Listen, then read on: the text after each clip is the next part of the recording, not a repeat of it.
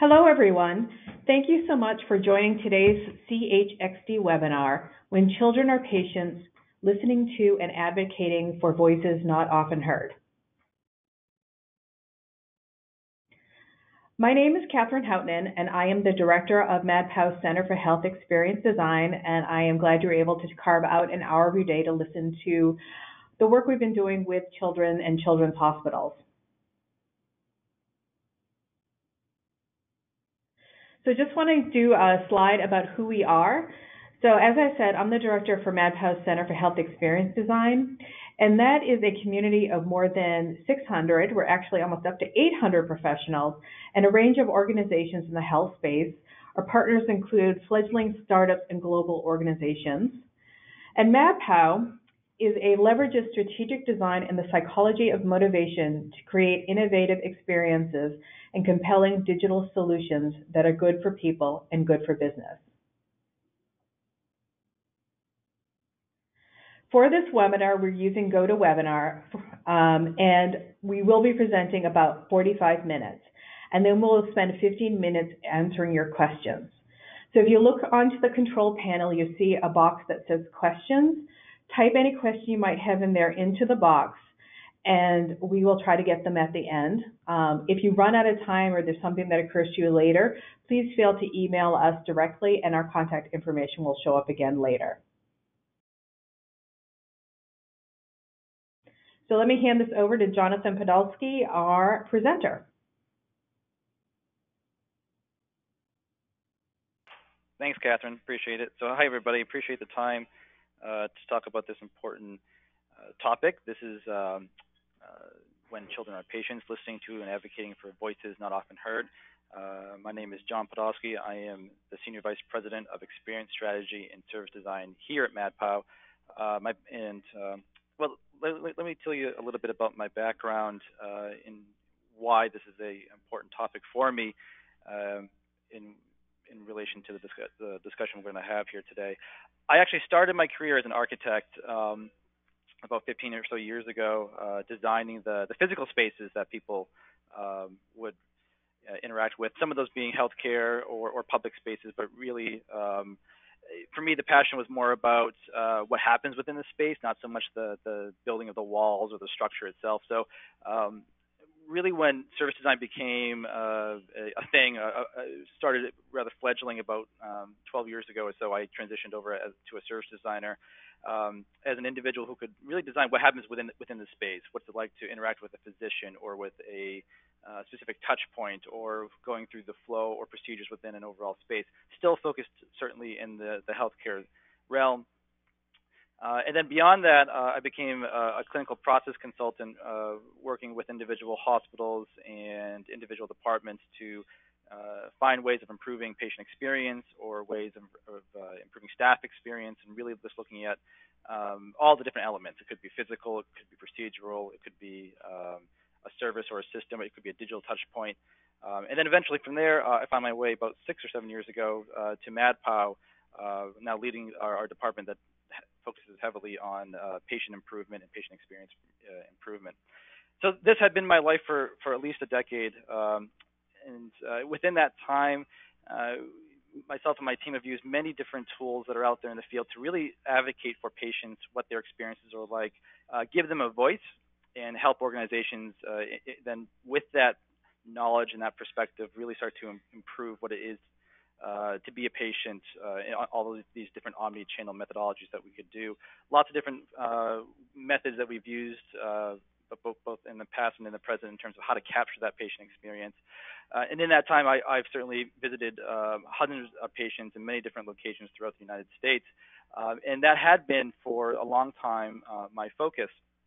And then starting six years ago, uh, my son was born. My son, his name is Isaac. And uh, after some struggles um, that we had with him at a very early age, uh, Isaac was diagnosed with a relatively rare uh, genetic variant, uh, a condition that has potentials for lots of different complications. Uh, and with that came a new perspective, not just as a consultant who improves patient experience, but in this case, a parent of a child who now needs to interact with the healthcare system and for, for Isaac, his interactions, his ecosystem of, of, of healthcare uh, has grown exponentially to many different specialists in many different fields at many different institutions uh, throughout the, the East Coast here. Um, and that has been, for me, uh, even more of a, of a uh, eye opener uh, as, as, as, an individual who, for so long, was uh, attempting to improve patient experience. Now, being somebody who, in, in, in some shape, way, or form, um, is, is powerless to do so. Now, playing a role in the system as opposed to an, an advocate outside of it. Um, and, and for my son, this, this, this had a huge impact. I mean, uh, in the, in the six years he's been here on this earth, he has had at least at this point 220 different uh, medical visits or medical interactions of, of all uh, types, whether it's um, more serious to the more mundane. And, and that represented, uh, at this point, almost 10% of his waking life in some shape, way, or form interacting uh, with the U.S. healthcare system. Um, and then my wife and I, along uh, his side the entire way, uh, as, as sometimes observers, sometimes directly interacting with this overall process. And this is really where this kind of frustration started to well up in me in, in that um, uh, within this experience uh, as a parent, uh, I felt very powerless to, to change what was happening, um, whether it was frustrations or, or or issues that we would have in the overall process. And what really started to, to drive me kind of crazy as a parent, not just as a consultant, was that uh, in the United States, there's, there's so much regulatory uh, support and laws already in place that are embedded to improve consumer experiences. You, you are now no longer allowed to wait for more than three hours uh, on the tarmac, uh, sitting in an airplane without huge penalties being uh, invoked on that that airline, uh, specifically designed to improve, in this case, passenger experience. And the same goes, is is true for so many different elements that are out there, whether it's um, purchasing a mortgage or um, a car. There there's elements of standardization that are in place that uh, that regulate those experiences so that people are protected. At the same time, you could easily be a patient in a waiting room waiting there for 12, 14, 16 hours uh, in, in, in an emergency department. And there's nothing out there from a regulatory standpoint that says that that's either okay or not okay. And, and, um, that level of frustration certainly was something that I know myself and my son and my wife have experienced uh, over this past six years. So one of the motivations that I um, have have um, started to build upon, and something that I uh, really start to push and, and communicate to my clients, especially in, in, the healthcare field, is that there needs to be uh, a patient experience bill of rights. There needs to be uh, a way of advocating for um, uh, unquestionable um, elements within the interacting with patients or, the, or, or, how patients interact with the overall healthcare system um, that lead to uh, positive solutions or, or positive outcomes but in, in really just a, a, way of governing how decisions are, are, made within institutions or how things are prioritized. So with all my healthcare projects, I always in, introduce this idea of, of, introducing principles or these rights as, as, an element to it. What's interesting, though, is that um, with my interactions in, in, pediatric spaces, is that these these experiences or these kind of rights that or these perspectives that we build uh, change dramatically when we introduce the element of children into the overall mix. And so we can talk about um, how important it is to be transparent or um, what it means to have respect, but how does that translate to um, to the perspective and to the, the mind of a child has dramatic effects on, on how these solutions will actually work in the future. So that's what we're going to talk about here. We're, we're going to talk about some of these uh, potential rights that patients should have, but really translating these into uh, the, the mindset or the behaviors of children and how that variances or changes dramatically from a, a parent or an adult perspective. So let's start from, from uh, a few of these different examples. And, just as, as, a note, I'm going to be talking about examples that are omni-channel in nature. And by that I mean they could be physical, they could be digital, it could be a service element. The images I use tend to be more physical because it's an easier thing to represent. So you may say, well, he's talking a lot, about the architecture or the space or the environment. I am, but I'm also referencing um, uh, how, how individuals are interacting with each other or how the service elements or how the digital supports that as well. It just happens to be the, uh, the visuals that, that are queued up in this particular presentation. But that said, um, let's start talking about some of these rights that I think are really important, how they translate to children. And the first one is uh, around trans, trans, being transparent or transparency. Uh, and, and, what we're talking about here is really just the the the right to be informed as to what's happening um, in any shape, way, and form. This is important for any patient that, that's out there to answer the simple question as to what's going on, uh, what's happening, uh, um, uh, you know, what is what what what are the type of things that I should expect going forward.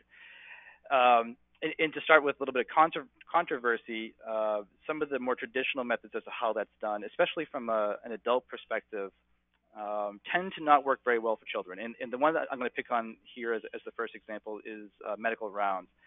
So if you're an, an admitted patient in a hospital, uh, the the evolved norms of today is to use uh, a situation called rounds to inform patients as to um, how things are are going on a, on a daily basis. This is really uh, an evolution of a system that was put in place specifically to get uh, physicians and caregivers and nurses and case managers uh, all on the same page in terms of the situation of, of a patient. This, this started as a uh, behind closed doors type of communication in, in these group settings, and eventually it was moved out into the into the hallways and into the patient rooms as a way of integrating the, the patients themselves into the process, so they can hear these conversations of what physicians are saying.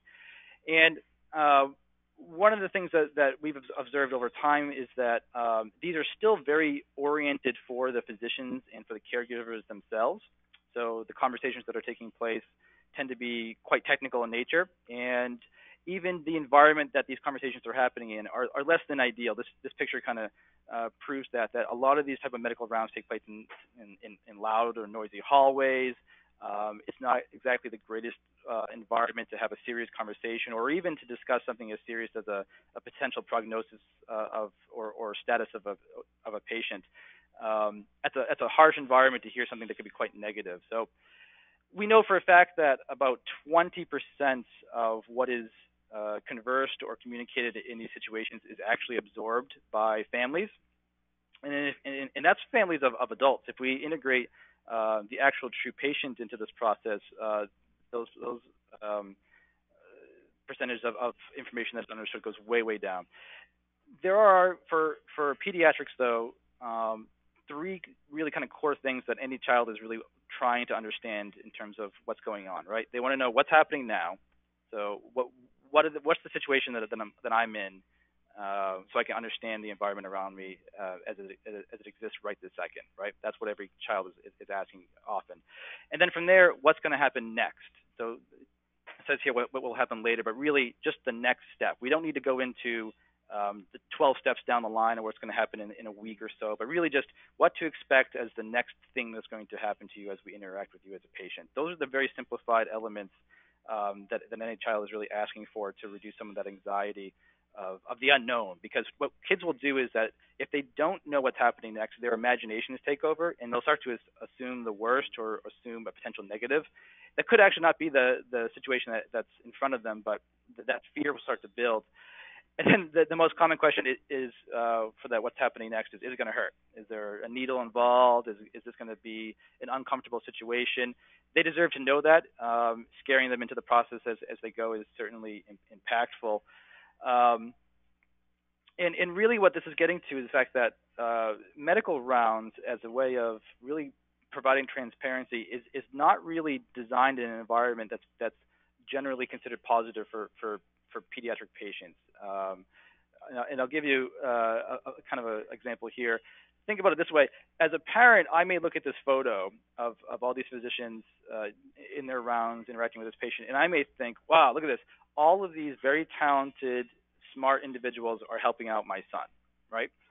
Um, it's almost like uh, I'm getting my money's worth, or I'm getting my my um, the, the the smarts in the room that I need to make sure that I'm assured that the right things are happening at the right time. But from uh, this poor fellow's perspective, could you imagine waking up from a nap and uh, sitting up in bed and you're surrounded by 15 strangers all staring at you? Um, so as we shift perspectives here to uh, to the actual children themselves, in, in, in this case, uh, a patient waking up in a room, it's it's closer to akin of a horror story than it is a, a an overall uh, positive experience to have all these strangers kind of staring at you at any one time. And, and, and, this is where the whole medical round elements uh, can kind of play a part. We know, for instance, that uh, up to around preteen, uh, children tend to have better relationships and have better trust with individuals. So you'll hear things like um, so-and-so has a favorite physician or a favorite nurse that they like to talk to, and they warm up to those individuals as opposed to larger groups. And so the interactions tend to be more positive, they tend to be more transparent, and they tend to be more productive uh, when we're engaging in in smaller in, uh, groups, right? So like, like I said, like, like, their favorite nurse or their favorite uh, doctor. So what we have seen work well is uh, medical rounds take place. They are uh, transparent in nature. They are focused on the parent first, and then only a, a select few individuals then specifically interact with um, the patients uh, in the room, not around a crowd of 15 people staring. It creates a more intimate environment that we know children are more uh, sensitive to and, and, respond better to. So that's just one example of this element of transparency and how that can vary from uh, an adult to a, a pediatric uh, patient. That's just one of the major challenges. Um, the others is really communicating um, that that or answering that question of what is going to happen next. Um, the very traditional way of doing so is uh, patient whiteboards in the room, um, literally writing down like you may have a, a CT or an MRI scan scheduled for you in uh, later today. That's not something that a, a child can really uh, understand the context around and what to expect there. So one thing that I've seen that's starting to, to, to be more of a trend is to go from um, traditional whiteboards in patient rooms to digital uh, whiteboards, where we then have the opportunity to vary, create variances on content and uh, communication style, or or even imagery to start to communicate um, uh, who to, who who is your physicians, what to expect next, all those different type of elements that could supposedly or, or hopefully uh, start to answer that question as to what, what will happen next to me. A great example of a non-verbal communication, more of an experiential, Philips years ago uh, created a, uh, a waiting room toy in, for the MRI um, uh, suites that they, that they had their machines in. And this toy was a great way of communicating in a, in a non-verbal but experiential way to children uh, what they themselves were going, going to soon experience in terms of using an MRI machine. In this case, as you slide the, the toy in, uh, it activates a, a video uh, behind it that, it that starts to show the, the, the, toy being scanned. It shows that it's not scary, um, it, it, doesn't hurt, and it reduces some of the anxieties. Um, and it really does answer that question as to what's going to happen next. So that happens to be one of those kind of core patient rights that I, I always advocate for uh, in terms of transparency. The other that I think is very important for uh, pediatric patients is this concept of uh, familiar or familiarity, the sense that um, uh, in general, uh, children respond very well to environments that they're uh, used to, and that could be around the cadence or the timing or even just the physical layout but uh, things that they uh, understand, uh, they are comfortable with and will interact with far far better. The challenge is, that for for children, a hospital environment is basically an alien spaceship, right? No one has at home uh, the type of machinery or lighting or uh, equipment or even things as, as as simple as the the feeling of a sheet or a pillow. All of all these little elements uh, compound to make things feel very, very foreign and, and very, very kind of quote alien to to children uh, as they as they potentially are, are are in these environments for the first time, uh, and that increases anxiety levels. It, um, it makes them generally feel uh, more afraid, less receptive to, towards communication with with uh, physicians and other individuals. Um, and it, I, I, just want to uh, contrast this with with uh, a different methodology that you'll see out there, which is um, as we talk about things that are familiar, there's also these principles of distraction. Those are two different um, things, right? So, so uh, distracting experiences or, or, distracting elements, they certainly work. I'm not saying that they don't, but they, they work very temporarily. So, if, if we're going to introduce a child to a space, uh, but we know that there's a simple procedure that needs to take place, maybe it's only a few minutes long, maybe a half hour or so, uh, elements of distraction do work. But when we're talking about uh, a longer term engagement with children, whether they're inpatient or repeat patients within an environment, um, the elements of, of, of being uh, of, of, familiar, of a familiar space or familiar experience um, work in the long run. Um, not we're not talking half hour. We're talking um, you know, days or weeks or even months within an environment or within a uh, an overall hospital or healthcare solution. So what do they break down to? Um, there's elements of comfort, certainly. Um, cadence is, is extremely important. We know that children, um, uh, from a, a, sense of normalcy of cadence is in, in rep repetition, or even just a, a, schedule that they can keep is really important. Um, we know uh, when when it's time to get up in the morning, when when breakfast is going to be, and lunch and dinner, um, the different procedures of going to bed, brush your teeth, uh, put on your pajamas, all those different kind of uh, um, repetitive elements uh, are comforting to kids. So when we break those cycles, um, there's, there's a negative reaction potentially there. There's other elements as well that are important. Uh, feeling safe in the environment that you're in. Um, elements of of, uh, of, natural, and that could be uh, natural light. It could be the materials that that um, you physically can can see or touch. And then there's this the the common elements of of being a, uh, a child and, and having uh, tactile experiences. Um, kids want to uh, interact with the environments around them by touching things or feeling them. Um, and very often you, will see as as kids walk into any kind of um, healthcare type environment, the parents go, "Don't touch anything. Everything's covered in germs," and that automatically is now removing one of their natural instincts as to how they in, engage with the with the environment around them. So certainly um, challenges here, but there are solutions that can kind of reinforce these elements of, of familiarity um, to, to, kids. A couple examples. Again, I'm, I'm kind of picking on the environment as a way of showing so, but um, I, I, like this as an example of a, of, a, of a patient room where we're, we're starting to check off a few of these different boxes, right? It doesn't feel too much like a, uh, a patient room in, the sense that there isn't a whole lot of equipment um, that's out in view.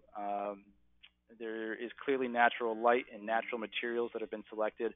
But what I really like about this is that the, as an example of a service interaction element, the uh, the nursing station is uh, not in the room. It's actually outside with an observation window. And what this allows to, uh, from a service perspective is that observations can be made. The nurse can can do whatever charting or procedures that need to be be done in, in an observation mode, not a patient interacting mode, without walking in the room and interrupting that individual. So we're not breaking the cadence of sleep, which is a huge issue in terms of um, long-term uh, effects of delirium or uh, confusion. One of the fastest ways to get there is by breaking sleep cycles. So any way we can avoid that is, is hugely important. In this case, uh, observation um, sections certainly help with that process. Um, but it also um, is, is a great way of, of not introducing again that kind of stranger element into the room repeatedly uh, on, a, on a regular cadence. So um, one one facet of this idea of, of, a familiar environment. The other trend that, that's out there from an architectural perspective is to um, adjust or remove a lot of the uh, quote medical devices or medical elements from the headboard or head wall. The head wall is traditionally the area where you would see things like uh, med gases, so um, oxygen, compressed air, uh, suction lines, um, EKG or other types of monitors, uh, drip lines, and all those different things create a um, really this this composition of you're in a medical environment, and it reinforces that over and over again as you see it. So, especially in pediatric type spaces, uh, one of the major trends now is to either uh, try to remove as many of those elements as possible, or really just to hide them within millwork. So they're all really still there, but they're behind uh, a cupboard or a board or a wall that can be easily accessible, but you're not always in this modality of intense uh, medical solutions or medical devices always in your face. So one other area that, that we're seeing in terms of a trend uh, to re reinforce this sense of a familiar environment. Another aspect of, of uh, familiar is uh, a feeling of being safe. You're in a, a space that you're not normally in. Uh, that could be as uh, as intimate as an individual patient room, but certainly in waiting rooms, emergency departments, uh, common spaces. And it's it's interesting here because uh, security is, is a double-edged sword when it comes to children's experiences. Um, security is certainly very very important. And from an adult perspective, um, you know, we've pulled this many times. There is certainly an, an appreciation to see and know that in waiting rooms or, or in the hallways that there is this element of security and that they can feel safe in that environment. But for children, the uh, it, it's a little bit different because they see uh, individuals that are that are security, and those security uh, staff may be actual on-duty uh, police officers or or security staff that looks like a police officer, and they can't translate that context of this person is here is here to make me safe. They see potentially security as something bad has happened or something bad could happen, and it's actually a reinforcer of an anxiety trigger because they don't associate potentially um, seeing a police officer with a good situation as opposed to um, a bad situation. So this is where that that kind of um, abstract or that that juxtaposition between adult perspective and, and pediatric uh, perspective has a, a wild swing in it when it comes to, in this case, this perception of security.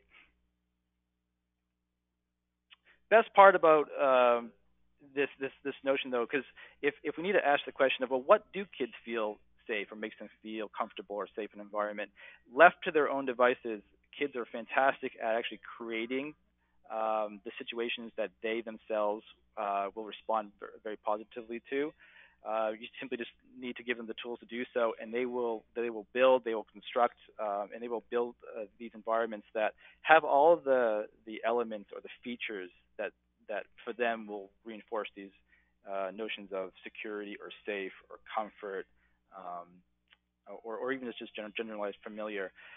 And this is a great uh, a couple of examples of you know you leave the kids on the couch, they'll uh, build themselves a nest or a fort or a pillow fort, um, and you and you can say, okay, well they did that because it, for them that's enjoyable and they they like the space inside of it. Um, and what about that space then is is important? Well, it's soft. Um, it's it's from a scale perspective quite tight and, and enclosed, so they don't feel like they're in a very large open space. Um, it's it's acoustically dead. It has uh, soft tactile elements to it. Uh, and then you could take those and then you could retranslate those in, as part of a patient experience and, and, and build those type of environments within a, the overall construct of a, of a space that checks the, the exact same uh, boxes. Smaller enclosed spaces, soft tactile elements to them, uh, acoustically um, dampening, and, and what, what will happen is that we're now reflecting children's own needs in terms of, of how they want their environment and, and the space can do so at the same time. So this is just, just happens to be a few examples from a, a, sense of familiarity. Certainly, I could go on for days just about this one topic, but I wanted to touch upon some of these other elements of, uh, of what I consider uh, patient rights. And especially when it comes to uh, pediatric patients, a major one is scale. And, and there's two elements of scale that we can talk about here. The first is really the, the literal sense of scale and uh, the, the entire science of human factors design or human factors engineering is a reflection of that. It's, it's really the, the elements of understanding how uh, physically a person interacts with the environment or the space or the elements around them, how they pick up a, a, a drink or uh, walk through a space or sit in a chair. Um, and, and, this is actually a great example of um, when when scale is uh, factored in, is it a hit or miss in terms of how the uh, in this case the environment is responding to it? And you'll notice that uh, for adults, this is uh, actually a main hallway or thoroughfare within a, uh, a major pediatric hospital. Um, so a lot of people, and a lot of children walk through the space, and they've uh, tried to engage the space somewhat with some um, pictures on the right-hand wall. But you'll see that the that the heights of all these are designed for humans uh, that are at least 15 to 16 years of old age, if, if not older, uh, really uh, adult um, uh, height in terms of, of, their mounting distance. And this is a, a, pediatric hospital where the majority of the true customers uh, are under the age of 12 or so, and, and, who couldn't really get a very good view of these these photos. Their their world exists um, at around three foot six and below so one of the things I, I like to, to tell my, my clients, um, whether they're executives or, or, directors within the hospitals, is that the best way to uh, experience these uh, the spaces that they're investing in or what exists today is you know, get down on the on the actual level of, of the patients that, w- that would be walking through the space, whether that means uh, sitting in a wheelchair or, or something that that literally physically gets them down to below three feet, and then see well what does it like look, look like now? Um, are the things like the paintings at the right heights? Um, or, or you know other elements that really are are ignoring um, the, the tiny humans that we're really here to, to design for. Great example of, of when you do that, you'll start to realize uh, when there's opportunity. Uh, this is an example of, of a uh, Magic Beans. It's a um, kid store I designed uh, a long, long time ago, about, about 14 years ago. And when we did this, when we got down on, on the kids level, um, there are certainly major elements of, of design when it comes to um, presentation of toys and how signage works and uh, lighting and all those things. But one of the major challenges here uh, that is a reflection of understanding of scale is that when parents are up at the register uh, to buy uh, whatever items that have been picked, there's not much for the kids to do, and they get kind of antsy and they start to bug the parents. They want to play with the toy before it's sold. So uh, again, looking at things from uh, the the children's angle, we realize that that that, that front of the, the counters is, a, is an opportunity to create a diorama or really just just a moment of distraction or or engagement at that um, at that at that little kid's perspective. It buys parents a few minutes of time, gets the transaction done, and they, they can go. And that just happens to be um, one example of, of how uh, shifting perspective from a scale could open up opportunities in terms of how we engage with patients. So that is uh, one element of uh, perception when it comes to or, or, scale. There is another element of scale though, which is this, this idea of, of, perception. And what I mean by that is, is um, depending on the age of the individual, um, the the grandeur or the scale of the environment around them uh, starts to shift. And, and by that I can say that an infant or, or a baby is really, really just focused on what they can hold in their hands. Their entire world is about a foot away from them at any one time. Um, so uh, the toy that's in their hands, the the mom that's in front of them, that's about it. Everything beyond that is uh, difficult to see, isn't really much uh, in terms of a, a major element of their context, and so we, we can understand that and design for solutions that best fit them. And, and there's plenty of things that, that are out there in terms of bassinets and um, and toys and things that really understand that the scale is, is shifted when it comes to, to age.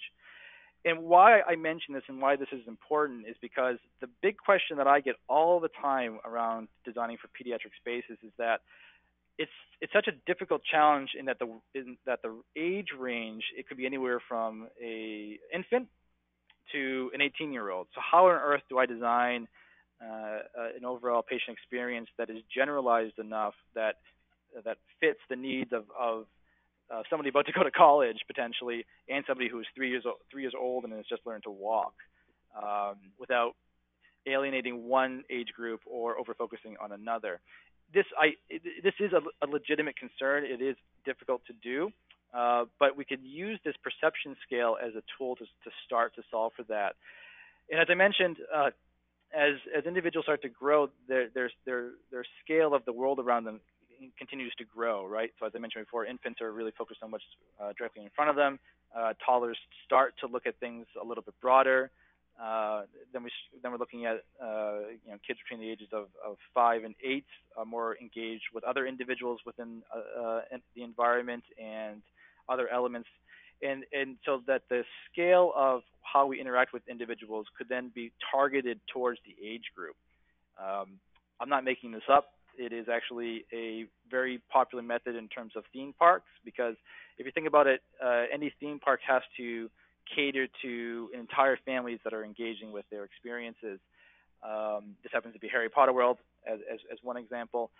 Um, in, in, in, a very classic one where you know you could have Potter Potter fans that are 45 years old, or, or those who are just learning the, uh, to read the books for the first time and are five years old. So how do you create an environment, a experience, an engaged uh, overall process that can check boxes off and really be fulfilling to such a large age range. And they use this scale methodology as a way of, of doing so. So what we're seeing here is what is called the grand scale or the God scale, where it's the large, broader elements that the older audiences are going to respond to and see um, and, and, and, really experience. Um, and then from there, uh, the scale starts to shrink, right? So um, now we're talking human scale. So this is uh, a slightly younger age range potentially, but it's uh, how human beings are now interacting within the space themselves, individually or with the environment. And then we have the individual scale. So this is um, more detailed and nuanced elements within the larger uh, process. It could be uh, different details. It could be shop elements. And then we get into the micro scale, which is uh, the fine details, the the, uh, the individualized objects themselves it, it turns out that people like to buy objects at the micro scale. So a lot of the things you'll see in theme parks that are catered towards the younger audiences happen to also be things you can buy, shops. Uh, in this case, you can buy a, um, a, a wand at one of the shops, and it really is there to to engage the younger audiences, while the older audiences are, are engaged at, at the different scales. now that happens just to be uh, one method that, that, that works in terms of, uh, of a solution. I, feel free to follow up with me. I'd be happy to talk about how some of these translate into um, healthcare spaces. I have lots of examples there as well. But for time's sake, let's just move on to uh, what I think is a really important uh, other element from a, a, patient bill of rights, which is uh, respect or, or, or being or felt to be respected. And this is a very broad category, but I'm going to pick on one specific element here, which is this idea of time and to respect my time. Um, this is actually fairly near and dear to me as a father as well, especially a father with uh, an individual who has interacted with the healthcare system so much because uh, for me, I, I always feel that every time I take my son to yet another doctor's visit or wait in yet another waiting room, that it is stealing time from my son, uh, time that could be spent outside playing uh, with his friends, uh, or really just having a, a better, more positive experience somewhere else and of all the commodities that exist out there in terms of um, you know value and money and, and perspective that, that exists there, time is the only one that I can't get back to him. So for me, this is uh, one of the more important uh, elements to, to, to, to, design for because uh, it's the hardest one um, to, to, to, to lose, really. And, and in this case, for, for my son to, to lose uh, in, in small bits over the past six years or so. So when we talk about time um, and, and, really respecting people in their time, I can guarantee you that the fastest way to uh, a negative uh, KPI or a complaint or a generally uh, you know negative start to an experience it could be a, a, a comment on an HCAHPS score or a Press Ganey score, but wasting people's time is, is really the, the the trigger that gets a lot of people quite upset. Um, you know, and, and, the very classic examples of that certainly are uh, waiting in waiting rooms, uh, or, or, or spending time in, in parts of the process that they know doesn't need to actually uh, be so so long. So there are two elements of, of of time that we can talk about. One is the experience of wait, and there's an entire science around this of how do we get people to to wait and feel like they haven't waited so long, or wait in certain elements of comfort. But then I think more importantly is the notion of rem- the removal of weight, um, and so that we don't even have to um, have people uh, wasting their time or in, in a positive environment. Instead, no wasting of any time at all. It's better for everybody. Um, certainly, in, in my experiences with my son, we have uh, experienced extraordinarily large amounts of, of, of waiting in, in, these 220 or so different visits. Um, and, and, the first thing you'll, that we tend to notice is that if we if we step into a, a waiting room of some sort and there are a lot of elements of distraction there, it's basically saying, yeah, you're you're going to wait a long time. And so as part of that, we're going to uh, provide some some you know points of distraction to your your child to help him uh, through what is going to be uh, potentially a, a long process and I'm not saying that distraction methodology uh, doesn't work. It, it, does. Sometimes we pray in in, uh, in, in these waiting rooms that there's going to be a fish tank somewhere in there, uh, just because we know that he likes fish, and that that'll buy us an extra 15 to 20 minutes before he starts to to get antsy um, in, in terms of a wait. But at the same time, it's it's also kind of just a notion that um, uh, the wait has to exist and it's it's an element that um, can't somehow be removed. So it's almost setting the expectation that yes, you're you're you're about to be uh, in here for the long haul, but we're going to help you to be distracted.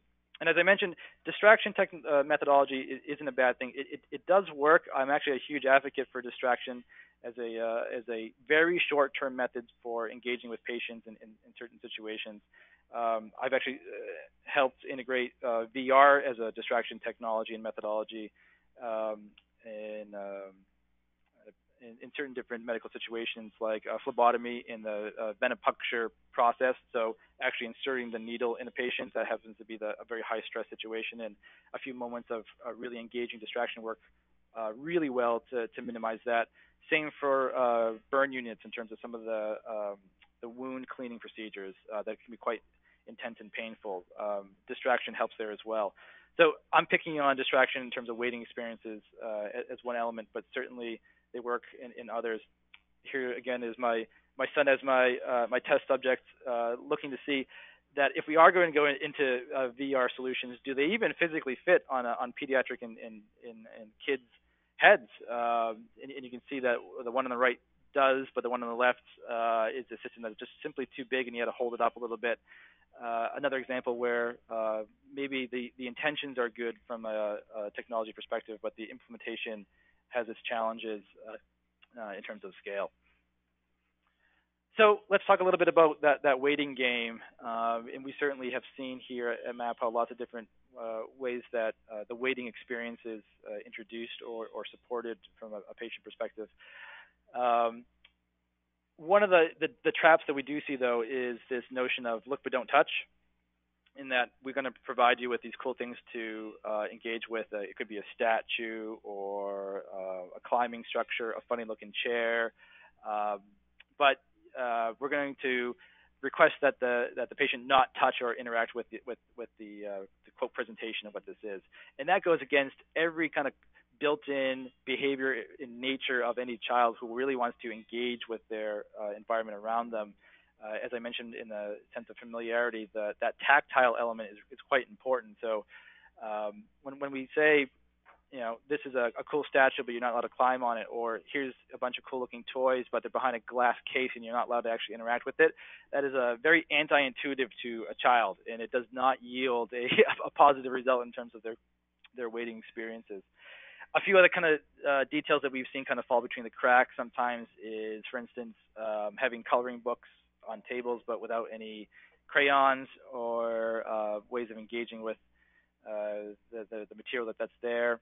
So, I mean, there, there's a lot of um, uh, potential uh, areas of improvement that we've seen throughout the, just the general kind of healthcare industry when it comes to the, the waiting experience and, and how to buy time. You'll, you'll find that, that this is not just a, a moment of anxiety for children, but certainly a, uh, an element of anxiety for, for parents as well. They tend to be just as, as nervous in terms of will we survive the next hour and a half in this wait without there being a meltdown? What will happen at that in that, in that situation if, if it does. So it is it is an area of certain focus. Now let's talk, talk a little bit about, about the other side of, of waiting, which is negating waiting, um, or, or at least trying to reduce some of that. So we're, we're, we really are respecting people's time. This is an image of a, of a nurse who has uh, handed to a patient uh, as part of the registration a form that they had to fill out. Uh, that patient is now in a waiting room. Um, uh, waiting for this nurse to go back to her her desk where she's going to now manually type in all that information onto the system. And then from there, eventually it'll be notified to the physician that this patient's ready to be seen. And so what we've done is we've added steps to a process and really forced a, a waiting experience to to a patient, and, we, we've seen this happen over and over again um, in terms of a lack of efficiency in simple things like registration you'll see that, that there are trends uh, moving forward now where uh, we try to remove that uh, manual step of, of data entry where uh, patients are handed a laptop or a tablet or some sort of device where the information that they input is then transferred directly into a system. And I'm not saying that that's, that, that's a bad thing. It's, it's great. It's actually uh, proven to reduce potential wait times. But the, the ideal is to actually even negate that and to pre-register or, or you know, collect data that's already in systems, or, or do something where when you're walking into an overall experience, um, you're ready to go, and we're, and, and we're not then saying, okay, now that you're here, it's time to, to really register or set up the overall process. It's uh, it's an expectation that is being built into a lot of other uh, analogous experiences out there. So it's, it's an area that we see as a major trend going forward.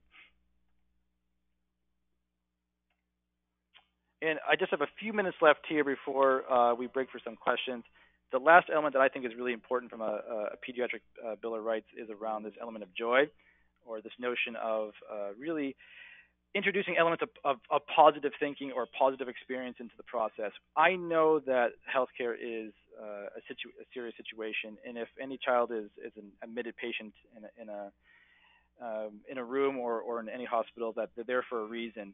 Um, but one thing that I always advocate for is that they don't need to be reminded on a daily or hourly basis as to how serious their situation is. What they do need is moments to feel like a kid again, uh, to have areas of feeling happy and, uh, and, and joy, or or even just feeling normal for a few minutes is, really really important.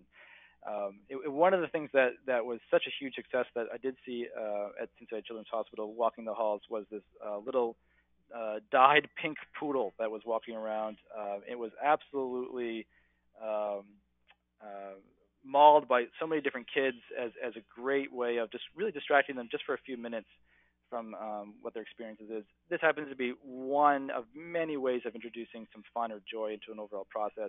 I'm not saying that we have to, you know, throw dogs into every experience, but it happens to certainly work, and I, have seen it happen uh, many different times. This happens to be in, in Atlanta in their radiology suite. There's actually a, uh, a radiology dog that can greet um, patients as they walk in for a, a, a, scan, and that really does reduce the anxiety and uh, is a nice surprise that doesn't introduce that element of joy. It's not all about dogs, though. Um, every day you'll see articles or um, or different stories that are kind of heartwarming out there of all these different pediatric um, uh, institutions that are attempting in their own ways to introduce um, a little bit of happiness or a little bit of uh, positivity into what would otherwise be a serious situation. This is just uh, from I, I actually pulled this from today. You, you, can you can literally find these on a daily basis. This is from um, yesterday's paper the, on the Sunday Post in uh, Glasgow, uh, featuring a few different physicians who um, decided to dress up as clowns moving forward on their daily basis, so that they become the quote clown doctors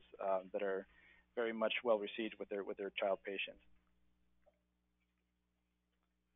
So all that said, as a recap, um, I know we're just about out of time here. Um, the, the major ways that we start to discover what's really important here is that um, the, the real big focus is, is about behavior over demographics. And, and, by that I mean to really understand the, the nature and the understanding and the instincts and the motivations of, of patients themselves, in this case of pediatric patients, which is different from adults. And then knowing that is a great way of then reflecting how different solutions could work for them. It's really uh, uh, the, the, core of human-centric design that we do here at Mad*Pow. Um, understanding the context that they find themselves in, for sure. So um, kids on the playground are certainly not going to be behaving the same way as kids in a admitted into a, a, a patient room or in a step-down ward or uh, ICU. Um, so we know that there are variances when it comes to the situation, but that context is really important to design towards.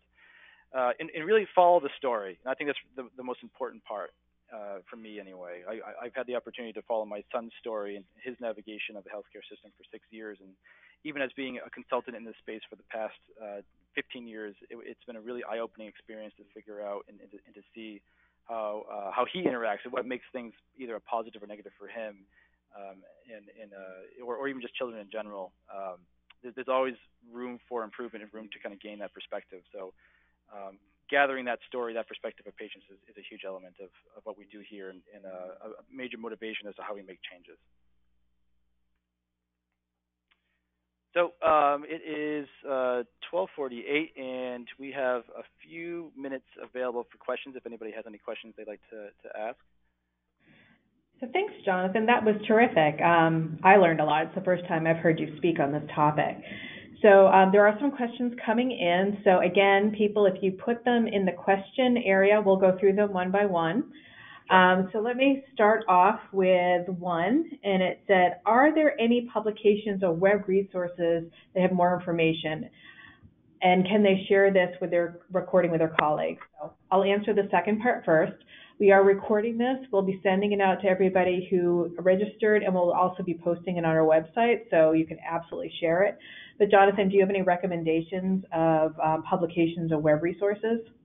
Yeah, so uh, there are a few out there that, that are great. Uh, one that I'm always an advocate for is uh, the Pebble Group, which is um, part of an organization that really focuses on making sure that uh, institutions that are implementing these major changes to improving patient experience don't make the same mistake twice. So it is a sharing of both case study and recommendations from the the, the actual architects, the directors, the uh, IT folk, um, the, the project managers um, of what they've learned themselves works in the field, and then how to then repeat that moving forward. Um, so I, would be happy to share that and a few other links that, that, that are great resources uh, as online tools. Um, so another question is, do you face any hurdles in having clients implement these solutions or implement them quickly? Yeah, I mean, a lot of what I'm talking about is uh, the biggest challenge is that, is that they're, they tend to be cross departmental. So if we're talking about patients that are walking into uh, a facility for the first time or in a potentially navigating to a specific department after maybe um, having frustrations finding parking, you'll notice that there are you, you'll quickly notice that there are a lot of elements that have no kind of quote ownership, and um, and so so to make changes to those is very difficult.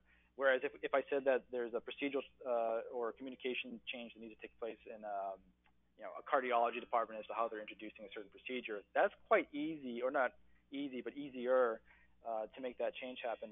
What tends to be missing are experienced owners.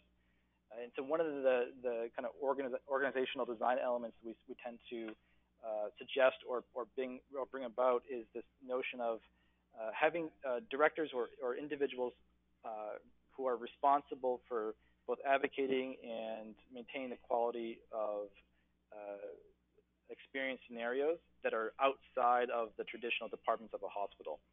And so an experience scenario could be something like uh, first time arrival, or it could even be as nuanced as finding parking or a follow up. Um, and, and, this is where we start to fill those gaps of um, uh, that, that, are very common where a lot of these uh, negative solutions or, or, or negative um, impacts are taking place where there are potential for positive solutions, but it needs someone there to advocate for it. So that's that's one area that uh, tends to lend itself to a faster implementation is when you have that that uh, person in charge that can then advocate for it. I've seen lots of examples, and a, and a few of my colleagues um, uh, actually focused on this from uh, an organ organizational uh, perspective in terms of how internal organizations collaborate and, and discuss and facilitate change in design. Um, so there are different models that, of, of, implementation that take place. Um, a few are around even creating these um, these fast-acting consortiums that have been empowered by the executive suite, the CEO, to make fast changes.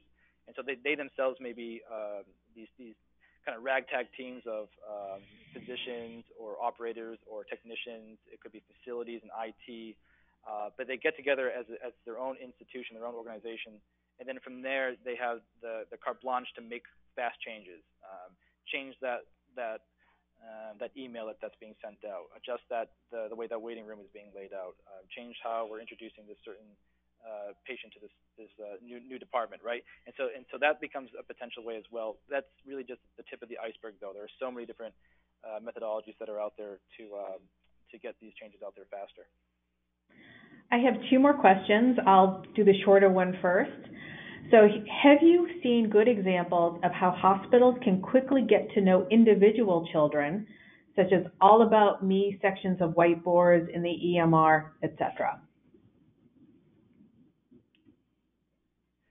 Yeah, that's actually great because um, th- this uh, this kind of uh, notion of quickly connecting with a um, with a patient and, and knowing, but even things like um, what their favorite sport team is or their favorite color, um, you know, what, what their favorite TV show is. The, those are, are elements of the dialogue that then can be uh, implanted into the interactions uh, that a physician or a caregiver can, can then have with that, that patient. Uh, I, I've even seen things go, go as far as, you know, uh, a certain physician knew that my son was really into robots, so when they came when he came for one of his uh, regular visits, they had waiting for him uh, a very large assortment of robot stickers, which he completely lost his mind about. Thought it was the greatest thing since uh, sliced bread. Really improved that that day for him. Um, and and for them, that was something that that was off the cuff, and it was because we had at this point been there about 30 different times. But um, I have seen variances to uh, registration in patient information systems, even elements that are added to uh, EHRs that have a uh, a profile that introduces some of those things in it. So it could even say things like, uh, this person loves the color blue, or their favorite thing are clowns, or they hate clowns, or, or whatever it ends up being. And that really is just a, a little bit of extra information that um, it, it would be important uh, from a from a service perspective to integrate. And if you look at um, client retention model systems uh, outside of healthcare, um, they all do this. They all collect or try to collect some of those patterns of behavior or those preferences so that it becomes very important fodder for the actual service provider to engage with that, that individual, reflecting that they know the, the likes, the objectives, the needs, the passions of that, that individual. that's certainly something that, that, that can and has been done in, in healthcare environments. All right, I have a um, question that is going to take a little bit of reading, uh, but I think it's really interesting. So, hold on there. So, Okay. how do you suggest integrating the age of the child into the Bill of Rights? For example, how do you ensure it applies to non-pediatric practitioners that a child might have to see, um, such as a child that might have to see a retina specialist who is used to dealing with much older patients? So the first part Oh, again, okay. yeah, so again, it's like implementing, integrating the age of the child into the Bill of Rights and how do you help with young children going to the clinicians who are not used to dealing with young children? Yeah, it's it's it's funny. Um, as a as a parent, uh, and I've seen this many different times. You can instantly pick out the physicians who do not normally see pediatric patients. Um, the the the the tone, the dialogue is so monumentally different. Um, and I, I would say that I wouldn't want to suggest that there are are systemic crutches to support that from a, an object or a digital system or a procedural that would support uh, that. Instead, I I've interviewed so many different uh, physicians, and, and they've all said the same thing. It's that communicating to the patient or to the family takes up by far the most amount of time um, that they have in terms of, of, of engaging with patients themselves. It's, it's this idea of conveying knowledge or information or this dialogue. Um, and those who really focus on that element, um, in, in, in acknowledging that, that from a pediatric, pediatric perspective, it's, it's vastly different, the outcomes of that particular interaction are always or generally always better. And that's a very roundabout way of saying those who can speak well um, uh, to those situations or, or just have a certain candor or demeanor to kids, um, the, the, the, the parents, the kids, they walk out of those situations a little bit more uh, feeling better about the about what just happened, and and they and they know it. There's a gut feel of those who maybe have who are maybe a, a younger physician who's who's who doesn't have kids themselves, um, and and you know doesn't really have a whole lot of experience interacting with them. I will say that there there is a uh, an interesting aspect of this that we see in find a doctor or find a physician tools and one and, and there are all sorts of different design elements that are are important to put in there. Uh, people connect with the uh, the photo or image of uh, of the person that they're going to eventually uh, interact with as a as a physician, but one of the major elements that uh, pediatric patients uh, and their families look for in terms of, of potential information in that find a doctor feature is does this physician have kids themselves? And it, and it has no reflection on the uh, the professionalism or the expertise of that individual, but it does ensure or guarantee, potentially guarantee, that that person will have a certain demeanor or certain method of interacting that will probably come off a little bit lighter or more successful for, for their, their, their child themselves. Okay, thank you, Jonathan. Um, we're almost at the top of the hour.